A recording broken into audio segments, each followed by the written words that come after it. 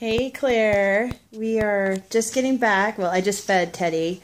I fed um, Jasper and Turnip before we left so that Turnip would eat in the bathroom. Sorry, I was I figured Teddy would be done by now. Hey, you wanna say hi to mom? Here he comes. Hi. It's so you have such a great location. We were just walking down and we went all the way over. We crossed the bridge. Where are you going, Teddy? and uh we had some rain this afternoon, but it was clear. It's just windy out there. Um, trying to think what else. Oh, he's drinking water. Did you get thirsty? Hi.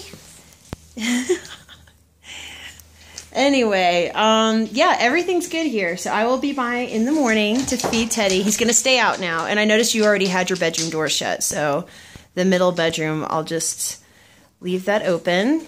And update you again tomorrow. If you are running late, need me to come in the afternoon, just let me know. All right, bye.